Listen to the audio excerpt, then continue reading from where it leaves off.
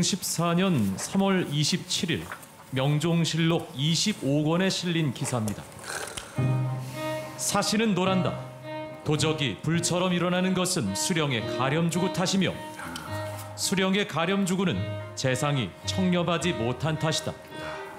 지금 재상들의 탐호가 풍습을 이루어 끝을 모르므로 수령들은 백성의 고혈을 짜내 권세가를 섬기고 돼지와 닭을 마구 잡는 등 못하는 짓이 없다. 백성들은 곤궁해져도 하소연할 곳이 없으니 도적이 되지 않으면 살아갈 길이 없는 형편이다. 그러므로 너도 나도 스스로 죽음의 구덩이에 몸을 던져 요행을 바라고 겁탈을 일삼으니 이 어찌 백성의 본성이겠는가? 사관들의 예리한 지적, 더 큰 도적은 과연 누구인지 묻고 싶습니다.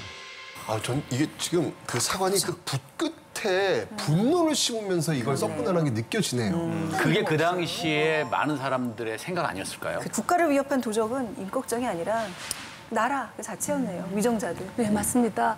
어, 백성들을 도적으로 내몬 사람들은 이제 중앙의 근세가라든가 지방의 탕간 오리들이다. 이렇게 볼 수가 있겠죠.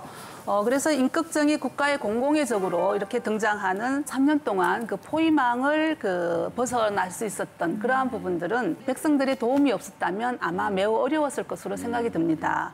어, 당시 기록을 보면은 어, 모이면 도적이 되고 또 흩어지면 백성이 된다. 결국 백성과 도적의 경계에 놓여 있는 그러한 사람들이 상당히 많았다라는 얘기죠.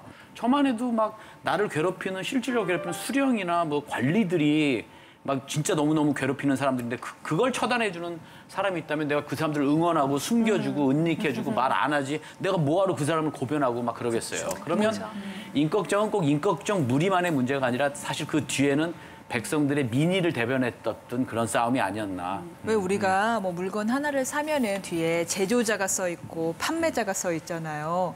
저는 임꺽정 지금 말씀드린 처음에는 뭐 구휼 활동엔 그렇게 적극적이지 않았다라고 했는데 왜 의적으로 알려져 있을까라고 했더니 아 의적이라는 이 임꺽정의 상품의 뒤를 보니 음. 제조자는 집권자, 판매자는 홍명이구나라는 생각이 역사 속에는 로빈훗 같이 낭만적인 의적은 존재하지 않습니다.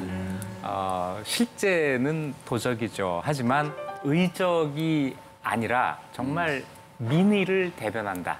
이런 점에서 역사적인 의미가 있는 것이죠. 저는 이 임꺽정을 보면서 이야기하면서 정도전 생각이 났어요.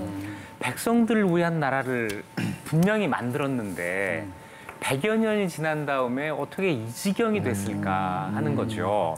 언제나 고인물, 변화하지 않는 물은 언제나 썩을 수밖에 없다. 그 결정적인 계기는 연산군의 폭정이에요. 그럴까요? 우리가 연산군의 폭정이 여기서부터 딱 한 세대 앞입니다. 그러니까 연산군 한 사람을 처단했다고 해가지고 문제가 해결되는 게 아니라 그로 인해서 흐트러진 국가의 정, 통치 질서 네네. 이것을 회복할 때까지 시간이 훨씬 더 많이 걸리게 된다는 거죠. 짧은 시간 같지만 그 흐트러진 질서가 그러니까. 결국은 후대에 많은 영향을 미친다는 거예요. 그러니까 그 당대 끝난 게 아니었어요, 지금. 지금도 우리가 바짝 긴장해야 되는 어, 그런 그러니까요. 시기를 살고 있다는 얘기죠. 맞습니다. 네.